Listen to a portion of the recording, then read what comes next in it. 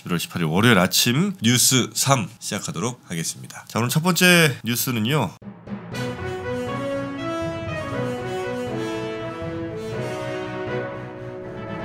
어, 도널드 트럼프 미국 대통령이 김정은 북한 국무위원장을 향해서 빨리 뭐 만나자. 나만이 네가 있어야 될 곳에 데려다 줄 사람이다. 뭐 이런 얘기를 근데 이게 트럼프 대통령이 뭐 3차 회담을 제안했다 막 이런 식으로 썼어요. 네. 그래서 내가 트위터를 봤거든. 근데 방점이 빨리 만나자에 있는 게 아니야. 그럼요. 그 앞에 부분에 뭐라고 냈냐면은 최근에 바이든 네. 그 후보가 유세 과정에서 네. 김정은을 보고 이게 불량배라고 얘기를 했어요. 음. 그런 게 여기에 발끈해 가지고 네. 북한에서 이런 미친 게 늑다리 미치광이 뭐 이렇게 해서 폭언을 퍼부었거든. 늑다리 미치고. 아니 이게 그대 한번 읽어주면은 야 이 친구들도 대단해. 권력욕에 미쳐 입에서 구랭이가 나가는지 똥이 나가는지도 모르고 눈만 짜게지면 지저대는 미친 개 한 마리가 또 발작하였다. 야, 바이든과 같은 미친 개를 살려두면 더 많은 사람들을 해칠 수 있으므로 더 늦기 전에 몽둥이를 때려잡아. 아, 이 나 진 아니, 정말? 아니 근데 이게 70 넘은 양반이 이런 얘기 들으면 거의 후보 사퇴하지 않겠냐? 야 형용사가 정말 네? 찬란하다 찬란해. 아니 그런 부러워. 이 치매 말기 증상까지 겹쳐서 제노미 섬기던 오바마의 이름마저 잊어먹고 나의 상전이라고.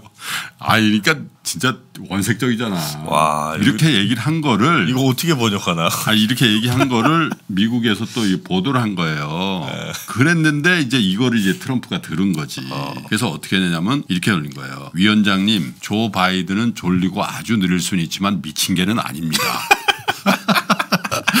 이렇게 쓰, 이게 방점이야 사실은. 아, 그리고 그는 사실상 그보다는 낫다. 그러니까 미친 개보다는 낫다. 이- 이걸 쓰기 위해서 썼는데 이것만 쓰면은 네. 다른 사람이 그럴 거 아니야. 야 트럼프 아무리 당신이 그 바이든을 싫어하고 정적이지만 야 북한에서 그런 거 가지고 이렇게 비아냥거리면 되겠냐? 그 다음에 이제 그 쓴 거예요. 빨리 만나자, 빨리 행동하고 벗 어. 이후로가 거기군요. 그렇죠. 아. 예? But I am the only one who can get you where you have to be. 그러니까 음. 당신이 있어야 될 자리에 데려다 줄 유일한 사람이 나고 음. you should act quickly. 그러니까 또 빨리 움직여서 음. 우리 get the deal done 하자. 그런 다음에 see you soon 한 거거든. 그러니까 내가 볼 때는 이걸 이 트위터의 내용은 조 바이든이 굉장히 졸리고 아주 느린 사람이다. 왜냐하면 이 졸린 바이든이라고 자기가 계속 얘기해 왔잖아. 네. 거기다 미친 개라고 해버리니까 이제 그런 건데 이제 대체로 이제 이거에 대해서 의미를 막 부여하다 보니까 빨리 보자. soon. 근데 soon이 방점이 아니야. 내가 볼 때는. 네네. 아니 그렇지 않겠어?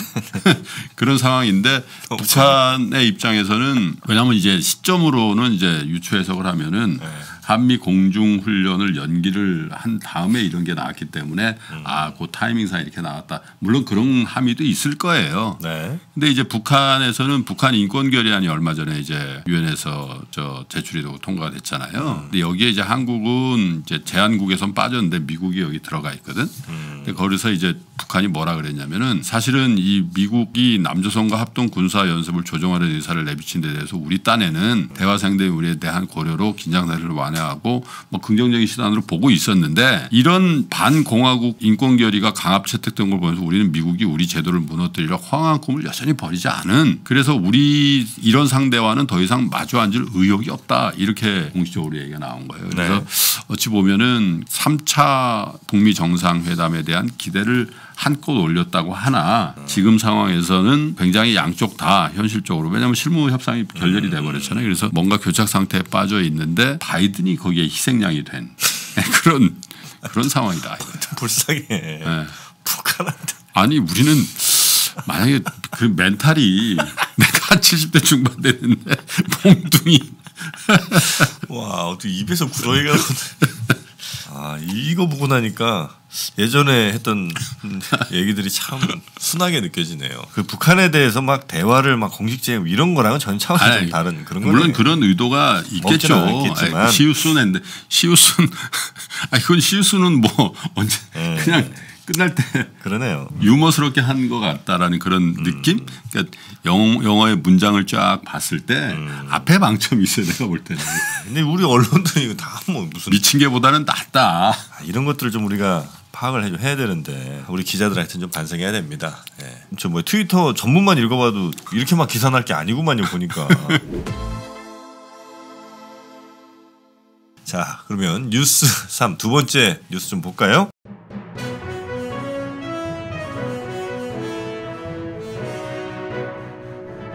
올해 일본에 대한 무역 수지 적자가 16년 만에 최저치를 기록할 걸로 전망이 된다고 하는데 역시 뭐 소비재 수입 줄어들었고 또 뭐 국제유가 하락 뭐 이런 등등의 요인이 좀 있는 걸로 예, 뭐 기본적으로는 이제 반도체 경기가 안 좋다 보니까 일본에서 굉장히 많은 이제 반도체 장비 같은 것들 그 큼직큼직하게 네네. 들여오던 거가 많이 줄었다라는 거하고 음. 그것도 있지만은 소비재 왜냐면 일본 차 엄청나게 안 팔리잖아요. 반토막 이상 감소해 버렸죠. 네. 그래서 이런 소비재 어떤 수입 이제 증가폭이 감소가 굉장히 눈에 띄다 보니까 그런 건데 숫자를 보면은 지난달 말까지 대일본 무역 수지 적자가 163억 6천만 달러 정도로 작년 같은 기간보다 20.6%가 줄었는데요.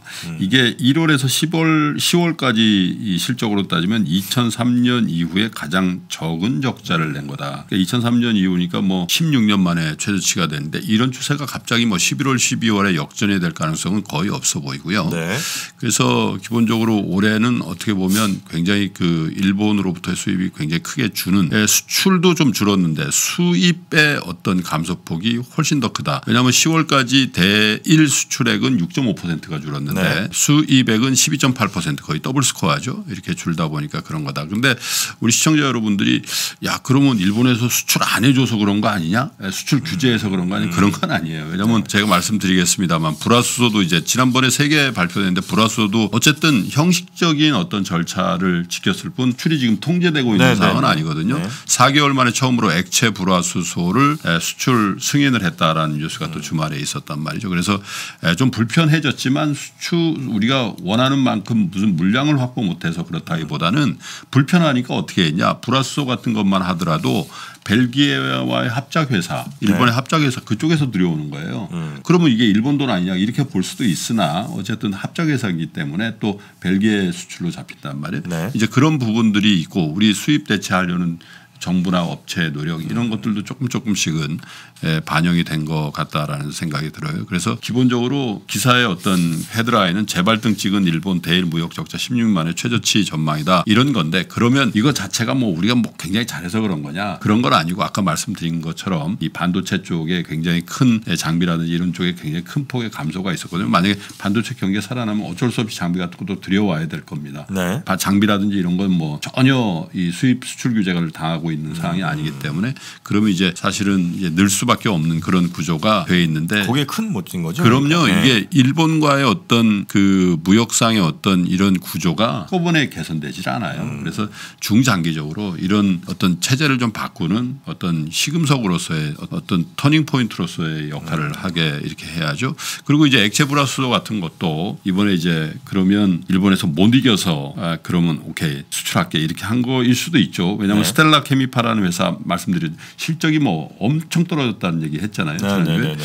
근데 그런 회사들이 이제 여기다가 이제 수출해 달라고 이제 요청을 한 건데 결국은 이제 정부에서 일본 당국에서 허가를 했다. 뭐 당연히 수- 수입 업체는 삼성전자고 SK 하이닉스인데 이게 7월에 주문한 게 이번에 들어오는 거라고 해요. 그래서 에, 그럼 왜 이 시점에 그랬냐? 지금 뭐 지난주에도 굳이 얘기했습니다만은 에, 한미일 국방장관 회의도 회담도 열리고 뭐 지소미아 이제 철폐 문제가 23일이고 미국이 한국을 압박한다 뭐 이런 얘기도 나오다 보니까 야 이거 봐라 우리는 정상적으로 수출하고 있잖니 한국이 오버한 거다. 네, 네. 어? 왜이 우리 정상적으로 절차만 지키는 건데 왜 안보에 관련된 협정을 폐기하고 그러냐 이런 부분에 대해서 이제 자극하려고 하는 그런 아베 속셈이다 이렇게 보여집니다.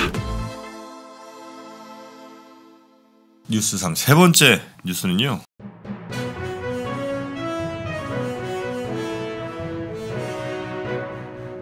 인포빅스라는 데에서 국내 34개 대기업들의 보고서를 좀 분석해 보니까 어, 대기업들 가운데 정규직 근로자를 가장 많이 늘린 회사가 SK 네. 그룹으로 분석이 좀 됐죠. 이게 이제 SK 하이닉스에서 정규직 2,300명 정도 늘었고 그다음에 텔레콤이 500명, SK 이노베이션이 뭐 200명 이렇게 늘어가지고 34개 대기업 집단이라 그래. 이게 통상 우리가 재벌이라고 하는 네. 이 이쪽에서 이 보니까 SK 그룹이 정규직 직원을 3분기 말 기준으로 46,819명인데 1년 전보다 3,670명이 늘었어요. 그래서 비율로 따지니까 8.5%가 늘어서 네. 전체 이 계열군을 가지고 있는 재벌 그룹에서 가장 많이 늘었다. 증가율이 한 인원수로 보더라도 네. 삼성그룹이 SK그룹보다 고용을 한 4배 정도 하고 있는데 삼성그룹이 이번에 보니까 같은 기간에 3,800명 정도가 늘었거든요. 네. 거의 비등비등하게 늘렸다는 거예요. 삼성그룹은 증가율로만 따지면 한 2% 정도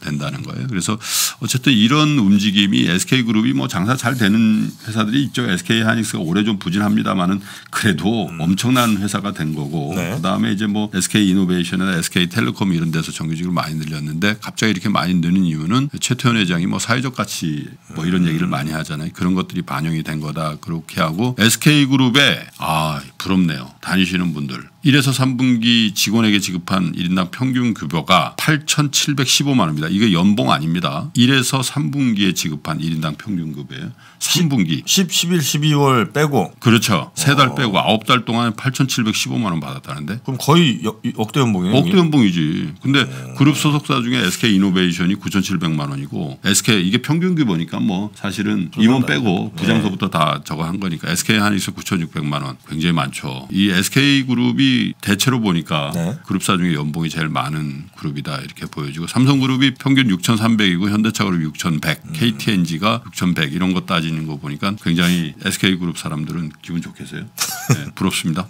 신세계 그룹 얼마인 줄 아세요? 임금이요. 네. 3분기까지 네. 6,200? 3,032만 원이네. 네? 현대차 현대백화점 그룹 3,200만 원, 현대중공업 그룹도 3,480만 원 어? 이렇게 돼 있네요. 평균 급여가 SK가 굉장히 높은 편이군요. 굉장히 많이 받네요. 알겠습니다. 하여튼 뭐 SK 그룹이 정규직을 많이 늘린 아, 대기업으로 네. 조사가 됐다는 뉴스까지. 섭섭할까봐 2등, 3등도 얘기할까요? 뭔데? 2등 농협, 3등 포스코입니다. 정규직 늘린? 비중으로 음. 네, 따지면 뭐 상황도 어느 정도 받쳐주니까 또 이렇게 늘렸겠죠. 아, 뭐 그렇죠. 의지만 있다고 네. 되는 건 아닐 테고. 자 뉴스 3 이렇게 정리하도록 하고요. 자 오늘 월요일이니까 아, 발칙하게 한번 또 월요일 진행해 보도록 하겠습니다.